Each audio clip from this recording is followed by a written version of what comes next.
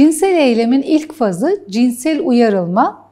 Kadın için çok daha keyifli, haz dolu ve rahat bir birlikteliğin, cinsel birlikteliğin oluşmasını sağlar. Çünkü uyarılmayla beraber vajen ıslaklılığı artar, vajen kanlanır, klitoris şişer, vajenin girişi daha yumuşak ve elastik hale gelir ve uyarılmayla beraber tüm beden daha arzulu bir şekilde cinsel birleşmeyi ister. Peki uyarılma fazı olmadan direkt cinsel birliktelik olursa ne olur? İşte bu başta söylediklerimiz olmaz. Yani ıslaklık olmaz. Vajen girişi daha esnek olmaz. Böylece kuru bir vajenle ve elastikiyeti artmamış bir vajenle penis almaya kalktığında genellikle bu birliktelik acılı hale gelir.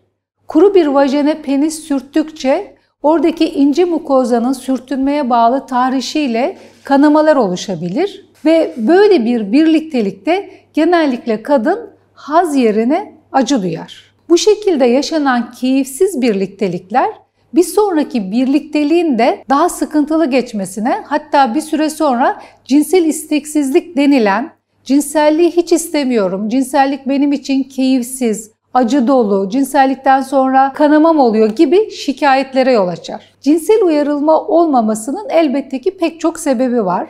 Bazen kadının kendisine ait sebepler, bazen yaşadığı fiziksel sıkıntılar, kullandığı ilaçlar, yaşadığı sosyal tecrübeler veya eşiyle olan ilişkisiyle ilgili sıkıntılar cinsel uyarılmayı aşağıya çekebilir hatta tamamen yok edebilir. Bazen de özellikle toplumumuzda çokça gördüğümüz cinsellikle ilgili yanlış kodlamalar. Yani ayıptır, yasaktır, günahtır, bana göre değildir, penis almak kötüdür, penis almak iğrençtir ve içten gelen cinsel o ihtiyaçlarla beraber harekete geçen bir takım uyarılara kişinin zihnen kendini kapatması da cinsel uyarılma fazının olmamasına neden olur. Böyle bir durumda uyarılma olmamasına rağmen cinsel birliktelik yaşandığında ki bunu genellikle kadın vazife bilinciyle cinsel ilişkiye girer. Bu ilişkiden ne kadın zevk alır ne erkek zevk alır.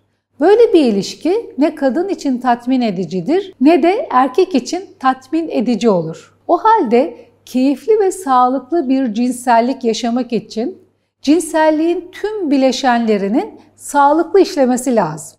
Yani hem anatomik olarak, fiziksel olarak, zihinsel olarak, ilişki olarak bir problemin olmaması hem de zihnen ilişkiye açık halde olmak, bedenin fiziksel ihtiyaçlarını ve sinyallerini duyar halde olmak ve bu akışa kendine bırakır olmak sağlıklı bir cinsellik için özellikle uyarılma fazının gerçekleşmesi için önemli bir durum. Dediğimiz gibi cinsel uyarılma olmadan kadın rahat bir cinsel birliktelik yaşamaz. Bu nedenle cinsellikle ilgili bir problem yaşadığınızda özellikle cinsel isteksizlik, ilişki sonrası kanama, ilişki sırasında ağrı, eğer bu tür cinsellikle ilgili problemleriniz varsa muhakkak uyarılma fazının doğru çalışıp çalışmadığına, cinsel uyarılara genital organlarınızın cevap verip vermediğine